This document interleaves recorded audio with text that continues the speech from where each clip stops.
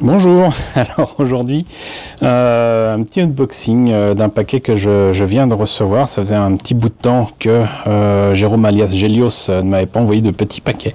C'est le cas et c'est super cool. voilà, je, je sais plus ou moins ce qu'il y a dedans. Il y aura quand même aussi quelques surprises. Euh, mais euh, donc je vous lis son, petit mot. Euh, voici un petit colis avec deux maquettes qui te feront plaisir, très certainement. J'espère ainsi qu'une petite trouvaille de, de Gilbert du club que tu as qui t'a écrit un petit mot et les restes de grappes de pièces de Philippe du club et également gérant de la boutique en live euh, zonemaquette.com. Je vous mettrai le, lien dans la description de la vidéo. La pêche a été maigre en raison du peu des de cette année. Je t'envoie ce colis un peu en avance. Et, et puis grosse bise à Léa et Grisette. Donc caresse à Léa et Grisette. Je suis désolé, j'ai pas mes lunettes de vue. C'est un peu difficile à, lire. J'aurais dû prévoir ça.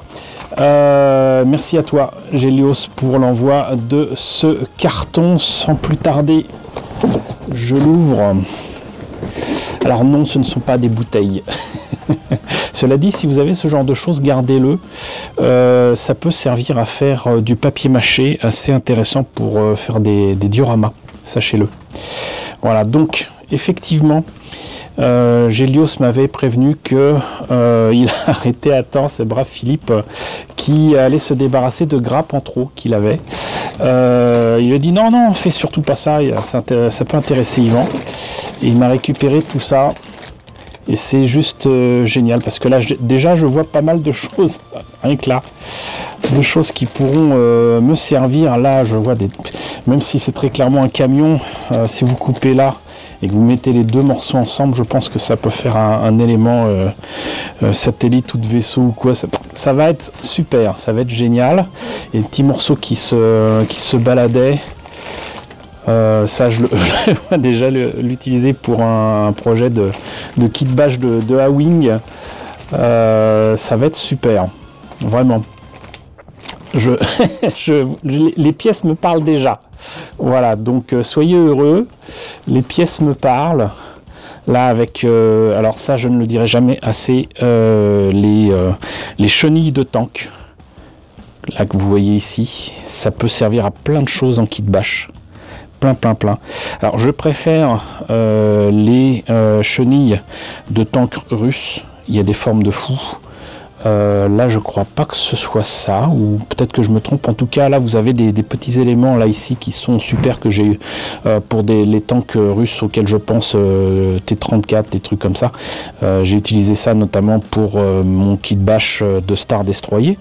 mais vous voyez que donc ça ouvre des possibilités de, de, kit bash de fou. Et puis j'avais même utilisé des chenilles de ce type-là pour détailler l'arrière de mon épave de, de Star Destroyer sur Jakku. Et euh, voilà, donc ça c'est le genre de truc, mais vraiment. Mais euh, gardez-les. gardez-les. C'est aussi la raison pour laquelle moi je me prends des, maquettes incomplètes à Emmaüs ou en, vide-grenier, parce que de toute façon, bah, tous ces trucs-là, moi ça, ça me sert. Ça me sert très clairement. Hein.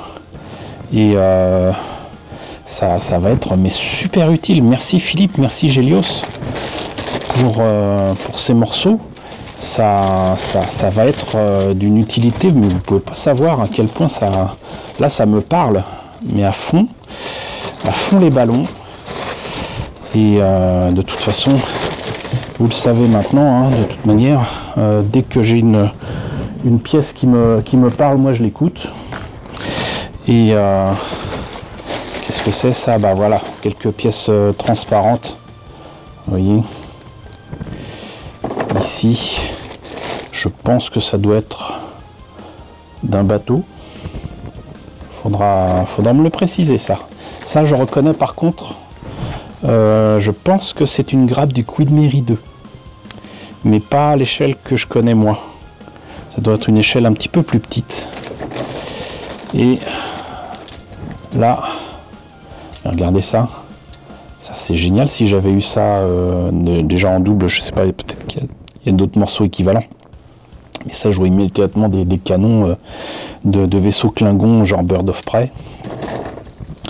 Là, des figurines euh, un 35. Alors c'est vrai pour certaines maquettes c'est un peu redondant. Mais j'allais dire on en a on en a jamais assez de, ces trucs là. Et c'est super. Voilà, je suis, je suis super content. Je sais pas si j'ai fait le tour. Apparemment, si, on verra tout à l'heure s'il y a quelque chose dans, le fond de boîte. Mais là, il y a, trois autres euh, maquettes, donc je vais, je vais sortir ça du carton. Alors, j'ai renversé les boîtes. Euh, bon, du coup, je sais ce que c'est, mais pour réserver un tout petit peu la surprise. Alors déjà, merci à Gilbert, qui fait partie du club Kidcopter euh, Vitrol, euh, dont fait partie d'ailleurs Gélios aussi. il a trouvé, d'ailleurs, c'est ce qui m'a permis de vous en parler dans un de mes derniers bons plans, il a trouvé des maquettes Bandai, relativement récentes en plus, hein, parce que le logo est quand même bleu. Des maquettes qui, bah, il n'y a plus le, le prix depuis que c'est bleu, c'est vrai, mais euh, des maquettes qui font penser à des SD Gundam. Euh, j'avoue que Bug et Bedubing 7, je ne sais absolument pas ce que c'est du tout. Alors si certains d'entre vous en ont entendu parler ou quoi, dites-le moi. Mais euh, apparemment c'était pas c'était pas vendu bien cher et si je me trompe pas, je vais voir si Gilbert me l'a dit dans son petit mot. Oui, je n'avais pas eu dans ma, dans ma région. Euh, merci encore Gilbert, mais euh, du coup je ne sais plus si c'était à Action ou à Nos, je pense que c'était Action. Mais euh, on va voir ce que ça donne. C'est même encore carrément avec les, petits sachets plastiques pour tenir tout ça, pour éviter que des gens mal intentionnés n'ouvrent et n'abîment finalement le, le matériel dedans pour voir ce que ça donne. Il y a des gens qui sont très très cons et qui abîment des boîtes. Et puis après, par contre, une fois qu'ils sont rassurés sur ce qu'il y a à l'intérieur, au lieu de prendre ce qu'ils ont ouvert, ils vont vous prendre un truc euh, neuf sous boîte euh, avec le, plastique, euh, les autocollants, et puis le truc ouvert qui va se dégueulasser, ils le laissent dans un coin. Oui, ça sent le vécu. Donc, voilà.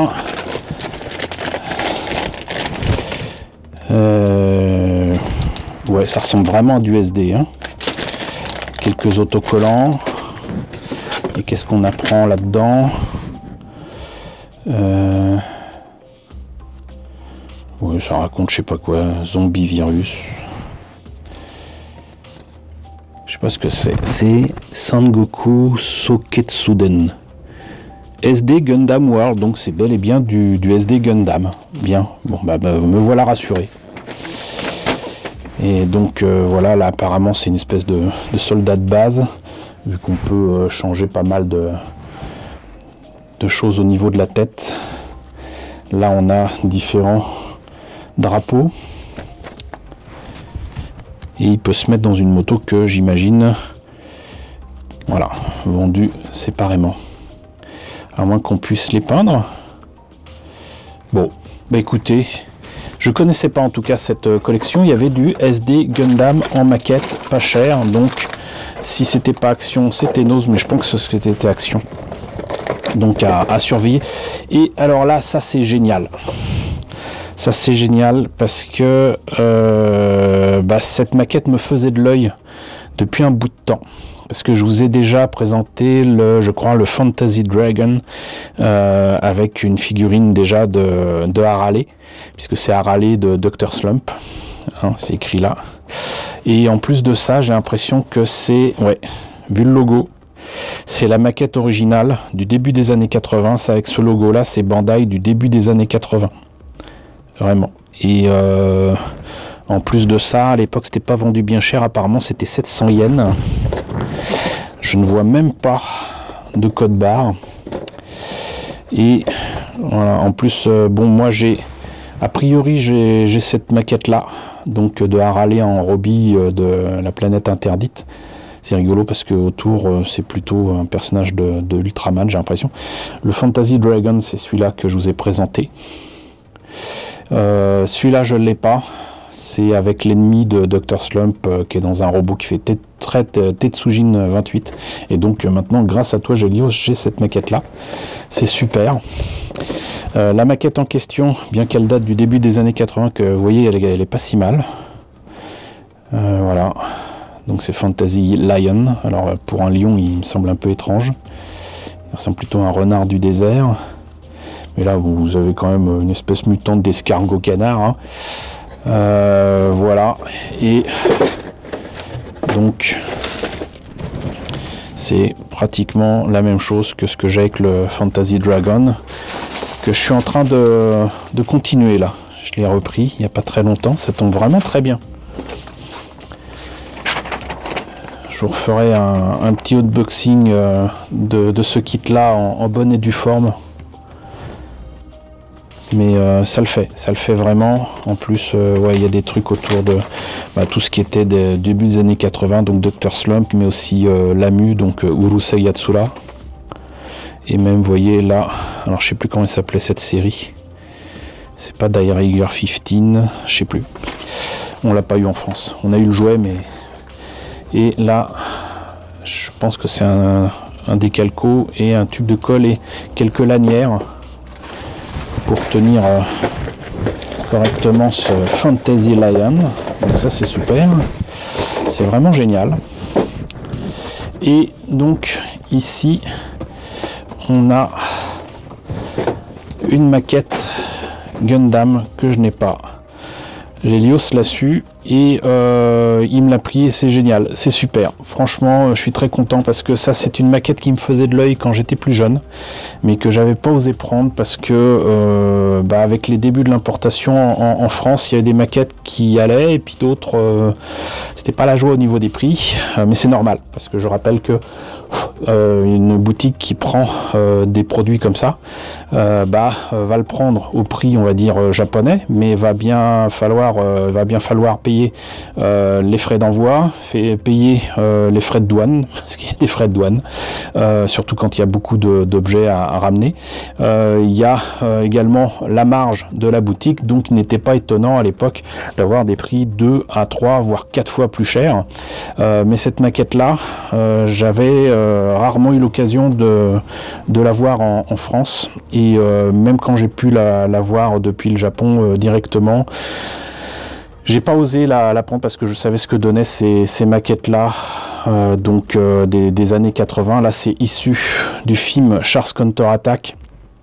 Donc c'est l'Alpha Zero, euh, qui est un. Alors c'est pas un mobile suit en fait. Euh, je sais pas comment ça s'appelle ces trucs-là. Mobile Armor, c'est écrit dessus. Euh, c'est un mobile armor, donc comme souvent dans les, les séries Gundam, les mobile armor, je sais pas pourquoi, ils passent leur temps à ne pas les finir, il manque des trucs, des éléments et tout. Mais l'Alpha Zero, comme vous voyez, il est énorme. Pourtant, les mechas dans Charles Counter Attack et notamment le X93, ils sont pas tout petits, hein, ils font plus d'une vingtaine de mètres. Mais vous voyez que là, le rapport d'échelle, c'est plus vraiment le même. Et puis c'est très clairement un mecha qui est, qui est fait pour être dans l'espace. hein, euh, voilà, donc. euh, Là, c'est supposé être euh, posé. et donc, euh, je sais pas, il a atterri quelque part. Même pour l'époque, quand même, il était quand même à 1000 yens. hein. Ça vous fait quand même dans les, les 8-9 euros. Et voilà ce que ça donne. Là aussi, je vous ferai un unboxing digne de ce nom. Un de ces quatre. Mais on va voir quand même ce que, ce que ça donne à, l'intérieur. Donc euh, c'est une maquette de 88 a priori. Donc à l'ancienne, je sais même pas. Je sais qu'il l'avait fait à une autre échelle. Cette échelle-là, c'est un 550. Je crois qu'il l'avait proposé ou un 400 ou un 500. Euh, dans les années 90, en fait, c'est ça que j'attendais. C'est que je savais qu'il y avait des, maquettes euh, de Gundam et de Bandai euh, qui, ressortaient, euh, qui étaient rééditées, qui étaient améliorées avec les high grade qui commençaient, les master grade, même si euh, faut pas espérer voir le Alpha euh, ou un centième, faut pas rêver. Mais voilà, donc acheter la vieille maquette des années 80. Euh, c'était plus trop d'actualité pour moi que ce soit dans les années 90, encore plus dans les années 2000. Euh, mais depuis, ils l'ont ressorti, mais je sais pas ce que ça donne. Sincèrement, je ne sais pas. Donc, je suis très content d'avoir entre guillemets cette euh, vieille maquette.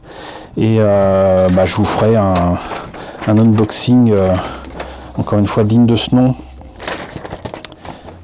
Et puis, on, verra ensemble ce que ça donne. Mais c'est c'est neuf. hein. Alors, c'est juste bizarre parce que comme s'il manquait quelque chose là. On verra. Le sachet n'est pas ouvert de toute façon. Et vous voyez, c'est quand même euh, de belles pièces. Mais euh, bon, un kit qui date très clairement. Qui date vraiment beaucoup puisque bah, logiquement ça, a 32 ans quoi. C'est un kit qui a, qui a 32 ans. Quoi qu'il en soit, merci Gélios, merci KitCapter, merci Philippe, merci Gilbert. Ça me fait très plaisir. Euh, là, je viens tout juste de recevoir le, carton, donc je vous fais ça un petit peu à l'arrache. Mais euh, je suis vraiment très content de partager ça avec vous. Euh, les échanges, c'est la vie. c'est vraiment ce qui donne du, beau moqueur et qui donne aussi moyen de, se motiver pour faire des projets, surtout dans le monde de la maquette. C'est très important. Donc merci à vous tous. Euh, merci à vous d'avoir suivi euh, cette vidéo. Euh, j'espère quand même que ce que vous avez découvert là vous a intéressé. N'hésitez pas à me dire dans la section commentaires ce que vous en avez pensé, notamment si vous avez vu par exemple le CSD Gundam à Action ou, ou ailleurs. Voilà. N'hésitez pas à liker, n'hésitez pas à partager, n'hésitez pas à vous abonner si ce n'est pas déjà le cas. Coucou aux nombreux abonnés qui nous ont rejoints ces derniers temps, bienvenue ici. Coucou aux grands anciens qui me suivent désormais depuis 5 ans. Merci à tous de votre fidélité, merci à tous de votre soutien sur Tipeee et sur Paypal. Surtout, prenez soin de vous, surtout en ce moment. Pas d'imprudence. Je vous laisse avec la liste des contributeurs de la chaîne et je vous dis donc à très bientôt, j'espère, pour le unboxing en bonne et due forme de ces joyeux kits.